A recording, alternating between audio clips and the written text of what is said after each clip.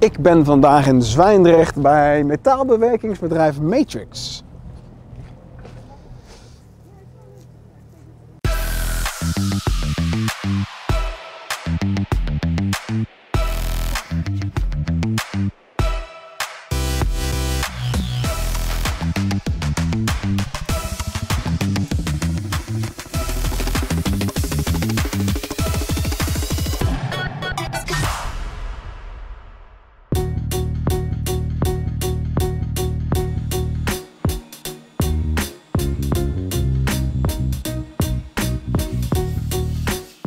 Tim, Hallo, Jan Kees. aangenaam. Eh, Jan Kees, waar zijn we hier? Wij zijn bij eh, Matrix Metaalbewerking. En wat doen jullie hier eigenlijk allemaal? Bewerken jullie hier dingen of maken jullie echt dingen? Of- Eh, wij maken machineonderdelen of onderdelen in de breedste zin des woords voor klanten. Ja. Klanten die vragen bij ons onderdelen aan voor hun product. En die hebben ze nodig, kunnen ze niet normaal in de winkel kopen. Nee. En wij maken die. Oké. En hoeveel mensen werken hier?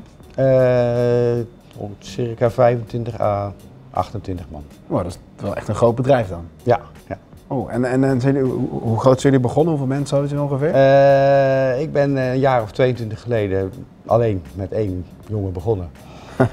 22 jaar geleden, wauw. Dat is wel even een tijdje dan. Ja, Oh, leuk man. En nu zijn die echt super groot geworden. ja, En jullie maken dus ook, jullie krijgen ook grote orders en eh, ja. massaproductie ja. bijna. Van heel klein tot heel groot. Ja.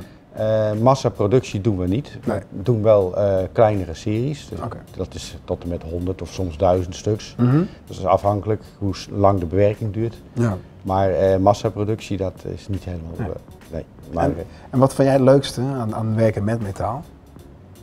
de techniek.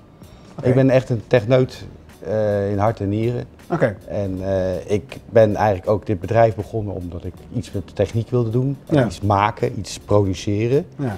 Eh, dat je ook aan het eind van de dag ziet, hé, hey, ik heb iets gemaakt, dat is leuk. Je ziet een, iets staan. Wa- Waarom zouden jongeren moeten kiezen voor de metaalindustrie? Ze moeten voor techniek kiezen. Waarom zouden jongeren moeten kiezen voor techniek? Omdat de wereld steeds meer afhankelijk is van techniek. Oké. En daar zit alles in. De metaal is niet alleen de metaal, de metaal is veel breder. Mhm. Want zonder computers en zonder software en zonder eh, strategische logistiek Mhm. en et cetera, kan je zo'n bedrijf niet meer voeren. Dat, is, eh, dat wordt steeds meer techniek en alle disciplines die erbij horen. Ja. Er zijn heel veel punten. En een van die dingen is ook weer de mens. Ja. De mens die werkt. Dus die moeten jonge mensen zijn die dat vroeg leren.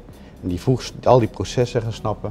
En, wa- want, want je hebt het over mensen, heb je over jongeren. Ja, Oh, eh, waarom zouden jongeren dit überhaupt moeten gaan overwegen? Te gaan doen? dit is gewoon het mooiste wat er is. Ja. Nee, ja, dat Ja, is, dat eh, dat- voor mij is het het mooiste wat er is. Maar het is eh, jarenlang heel onderbelicht. Mhm. En het is eigenlijk reet interessant. Je moet het gewoon eh, een keer gezien hebben, een, keer, een paar keer meelopen, ja. snuffelen. Alle scholen zijn hier welkom. Alle jongeren die gewoon een middagje willen kijken zijn welkom. Ik ben welkom. Ja, jij bent welkom. Kan ik naartoe?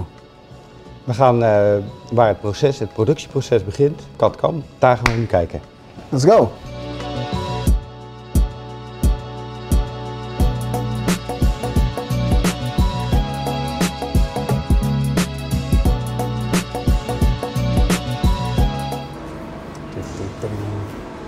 Dit is de eerste werkplek. Oké. Dit is William. Hey. Tim, aangenaam. Dankjewel. Aangenaam. Wat ben je hier aan het doen?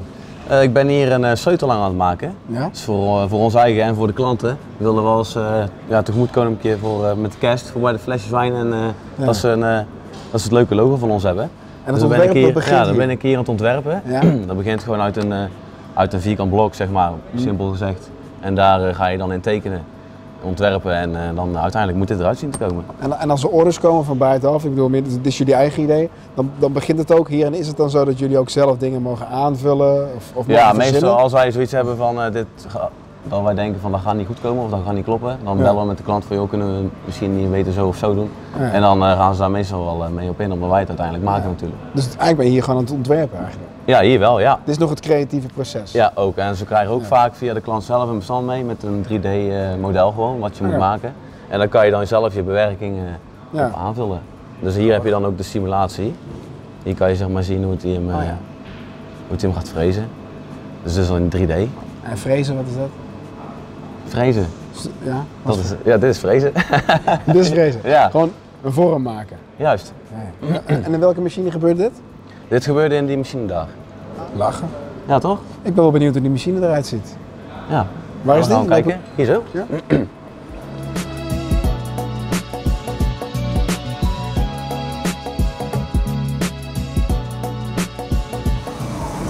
Tof. En do- en do- doen jullie nog andere dingen hier?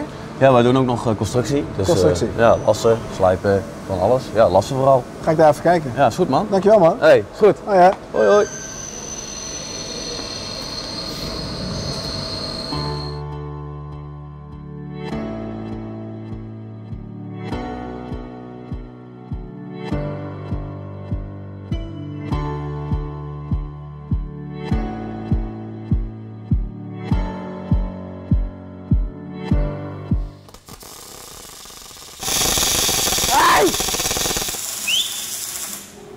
Hallo, Hoi. alles goed?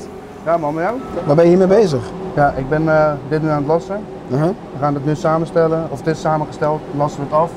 Richten we hem daarna, dat hij niet meer helemaal krom staat en dan gaat hij naar de andere kant voor extra gaten erin, geleiders. Oké. En wa- waarvoor is dit bedoeld, dit stuk? Dit eh, komt op een muur te hangen en daarop komen twee andere platen die zeg maar iets kunnen grijpen. Ah, oké. Dus het, het moet echt stevig zijn. Het moet echt stevig zijn, ja, en recht. En recht. Ja. Want hoe belangrijk is dat? Heel belangrijk. Ja? Want als hij maar een klein stukje scheef zit, dan grijpt hij niet, omdat het weer uit elkaar staat. Ja, ja. En wa- wat vind jij het leukste aan het werk? Het leukste vind ik dat het heel, creatief kan zijn. Je zit nooit stil, elke dag is anders. Want nu ben ik hiermee bezig, maar voor hetzelfde geld zit ik morgen een deurknop te lassen. En de dag daarna een ledscherm van 8 bij 4 Oh, ja. Je weet het nooit. En maak je thuis ook dingen van metaal of, of eh, aluminium? Of Ik, of- ik wil heel graag thuis een lasapparaat, maar dat eh, is Dat- nog niet zo ver. Van wie mag dat niet? Ja, we hebben niet zoveel ruimte thuis. Oh, zo, oké. Want je woont nog bij je ouders? Ik woon nog bij mijn ouders. Ja, dat snap ik wel dat ze dat niet willen. Oké, cool. En, en eh, wat was het volgende? Hierna gaat dit waar naartoe? Hierna eh, blijft nog even liggen tot het afgekoeld is, Oké. dan wordt hij recht en daarna gaat hij weer terug naar de andere kant. Oké, En dan gaan we hem helemaal ja, nog verder vlak maken, gaten erin, zorgen dat alles recht is, dat hij kan geleiden. ja. Dan, eh, En die bril heb je wel nodig, denk ik, of niet? ja, ja, die heb je nodig. Wat gebeurt er als je in het licht kijkt? Als je in het licht kijkt, dan uh, er zitten drie soorten licht in en één daarvan is ongelooflijk schadelijk voor je ogen. Oké, Uh, in principe, heel grof gezegd, je verbrandt je netvlies. En dat, uh, dat ga je voelen dan als het op een gegeven moment donker is en het gaat helen, dan uh, ja. voelt het alsof er net een hand- met zand in je ogen gegooid is. Oh, dat is niet relaxed. Dat, uh, nee, dat wil je niet. En eh, eh, hoe- ben jij hierin gerold? Ik ben op mijn vijftiende van de middelbare school afgekomen en toen had ik eigenlijk nog de leeftijd dat ik denk van ja, wat wil ik nou? Ja. En toen zag ik dat ze bij IAC, dat was een groot scheepsbouwbedrijf, bedrijf, misschien dat jullie dat wel kennen, Ja. hadden ze een leerschool. En ik vond het een perfecte uitkomst, want ja, puber, zin, geen zin meer in school en daar ging je werken, je kreeg betaald voor je opleiding en diploma's. ja. En toen uh, bleek dat ik het ongelooflijk leuk vind. Oh, wat tof. Dus, dus, dus de beroepsbegeleidende leerweg in Ja, principe. ja ik, ben, ik had vier dagen werken, één dag school. Ja. En uh, dat was het eerste leerjaar, dan haal je diploma's.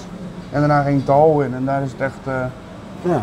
gebeurd, zeg maar. Klinkt goed. Maar als er nou ook iets is voor jou, dat kan gewoon. Ga naar uh, en daar vind je alle informatie ook over dit. Succes. Thanks man.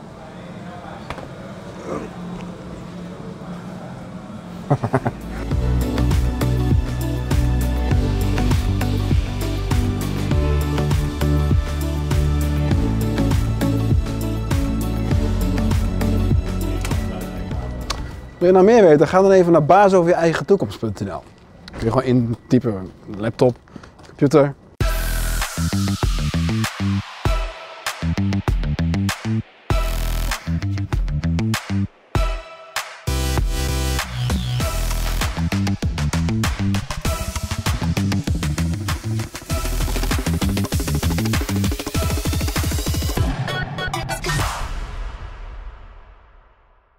Ben jij al baas over je eigen toekomst?